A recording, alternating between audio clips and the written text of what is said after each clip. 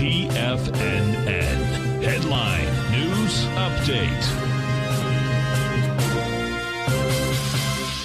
Welcome, folks. We had the Dow Industrials finish up 345, Nasdaq up 272, S&P's up 45. Gold, gold contract up four dollars ninety cents, trading at 19.81 an ounce. We had silver up 20 cents, $25.93 an ounce. Light sweet crude up 354, $104.14. Notes and bonds. The 10 year up six ticks, 120.22. The 30 year up 15 at 142.29. And King Dollar. King Dollar gave it up after hitting that 100. This is the second time it's hit 100 and basically back down. We'll see if we get any follow through with it. Uh, yeah, down 396, trade 99, 896. Euros at 108. Yen is at 125.68, and the British pound's at 131 to 1 U.S. dollar. It was against the pound that the, the, the dollar basically gave it up. We go over and we take a look at the indices. What you're going to have here is that you get higher price, you're contracting with volume. Once again, bottom line, lower prices coming at us. We had uh, we're up five bucks in the SPY. It, uh, going into 60, 84 million, you did 67. Watch the this indice volume is amazing how much it contracted, folks.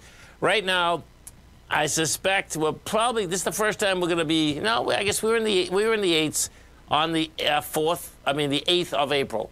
We did uh, right now. It's saying 787, but that'll probably get up into the eights. But that's a huge contraction of volume uh, on the NYSE and the Nasdaq Composite same, well, not really the same thing. 4.7 billion, 4.9 yesterday. That can get 4.9. We go into the NDX 100. We look at the three Qs. So you get the ETFs as well as the indice volumes are contracted.